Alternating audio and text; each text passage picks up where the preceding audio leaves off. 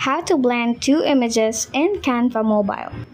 Hello everyone, so for today's video, I'm going to teach you how to blend two images in Canva Mobile. First is to open the Canva app on your mobile device. Log in to your account or sign in if you don't have an account yet.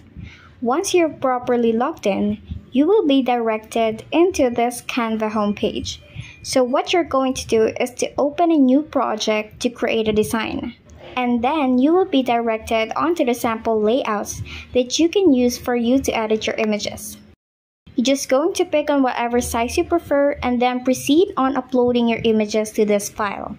On the bottom corner of the screen, there's a variety of options that you can see, but what you're going to pick is Upload. You will be directed on this one where you can see what you have previously uploaded on Canva. Now, Tap on Upload Files. Select your images that you're going to edit. Once done, tap on those images and it will be pasted here on your layouting page. So there are two ways to blend your images in Canva. You can either put the two images on one page and then click the option to remove background. Once done, you can resize it however you want for you to combine it. And here's the second option.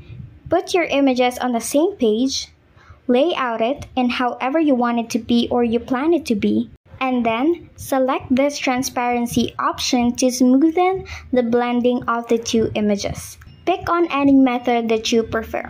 Once you're all set, proceed on downloading this image and you're all done. Hope you like this video. Thank you so much for watching.